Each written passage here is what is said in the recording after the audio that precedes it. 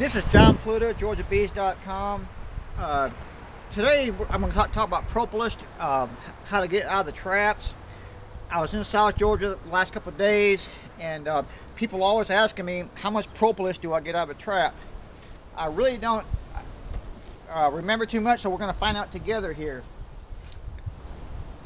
All I'm going to, first of all, it's 27 degrees out right now. I would normally put these in the freezer, but because it's so cold, I just left them outside last night. What we start with is all I use is an 18 gallon plastic uh, container. This trap here is average to just a, a, little above average full of propolis. And when we first pull them off, we just look to, to make sure uh, we pry off all the little pieces of uh, dead bees. A lot of times we, we have a small hive beetle stuck to them. Uh, any kind of little thing we might have. Here's a little bee head. We'll get that off of there. This is uh, this came out of some swampy areas. It's a little it's a little more orange than, than normal. I'm guessing a couple ounces of propolis. Here's another trap that was just a little less.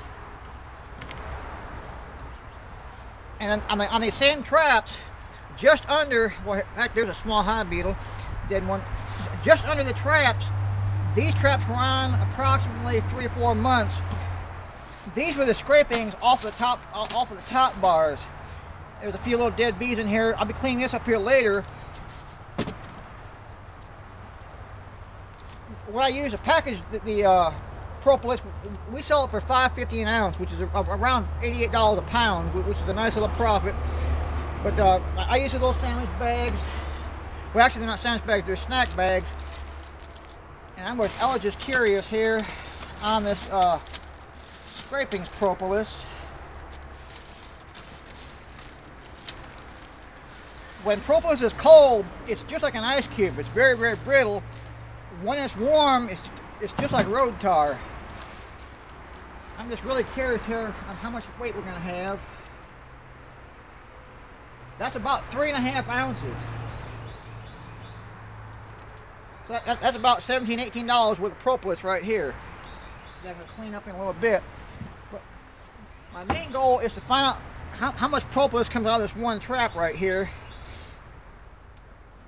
And we're starting with an empty bucket. And because it's really cold, I'm going to just very gently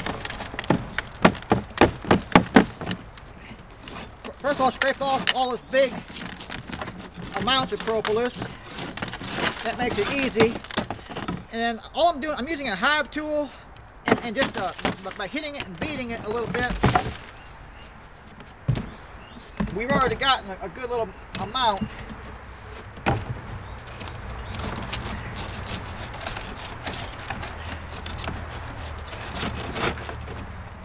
The bees are using this to seal, to, to seal up the cracks and crevices in the hives. When I first started using a propolis trap many years ago, it's taken a long time to build up a, a, a customer basis for this. It, it doesn't happen, it, it, takes a good while.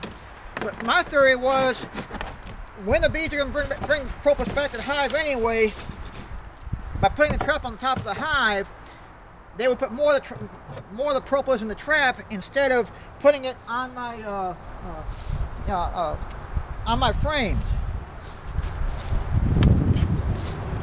And just a, a, quick refresher to change course again is when I put the propolis on, on, on the top of a hive, I instead of using a, a, top or conventional top, I use I, I use a bottom board just reversed.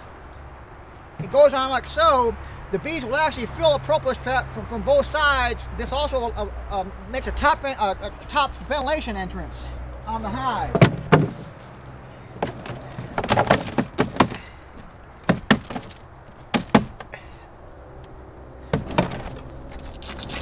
We've got most of the propolis off of here.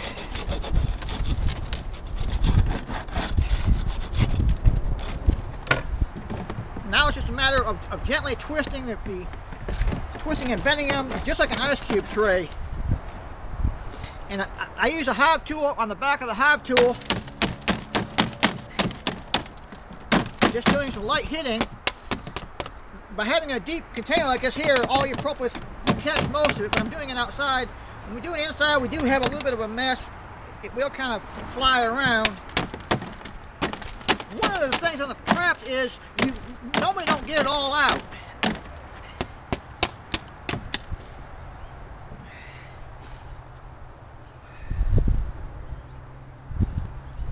These are the Michigan traps.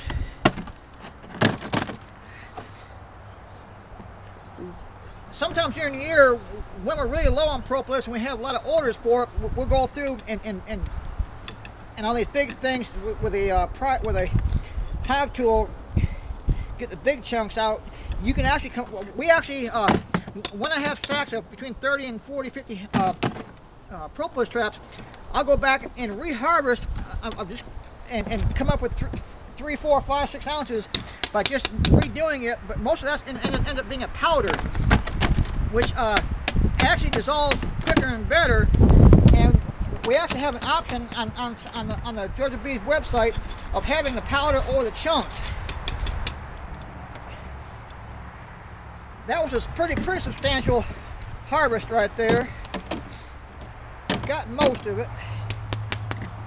Now we'll find out the uh, real truth.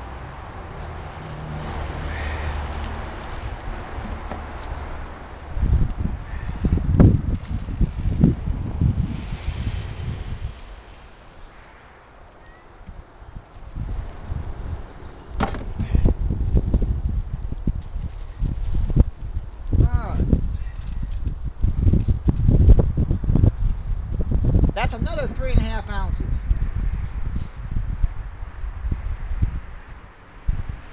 So uh, about $17 uh, retail value on this bag of propolis at 5.50 an ounce is, is what we retail. The trap runs around 7.50, so this is this is a pretty good return. And uh, this is not heavy or sticky.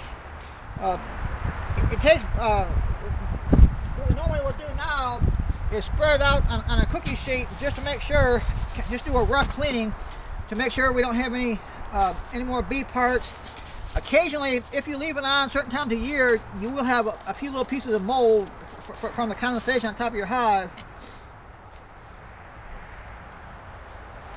That looks pretty good.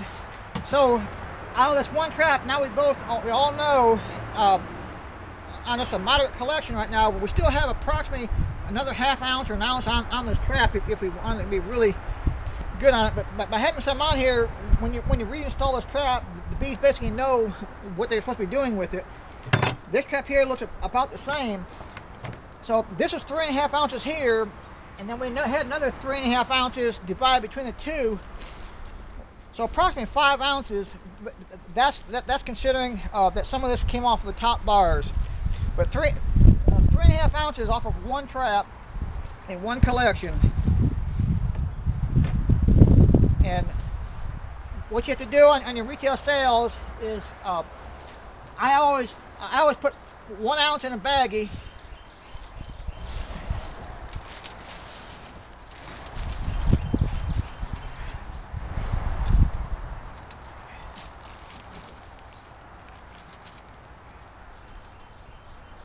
An ounce right there.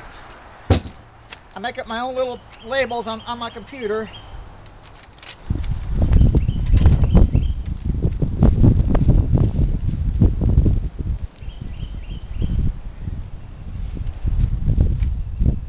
So now we have uh, a one ounce bag of propolis and, and, just for visual this this is basically one ounce of the chunks now you sometimes have the, you'll have a lot of powder in here. I, I, try to mix a little bit of both. Or I do have requests for for just the propolis powder. What, what we can do is take the same baggie and take a rolling pin and just roll over top of it to, to, to get to, to, to make the powder. That's my current tip. Uh, try some propolis traps and build up a build up a market for it. It'll take, take you a while, but it's a nice little sideline. Visit georgiabees.com if, if you need propolis or the traps.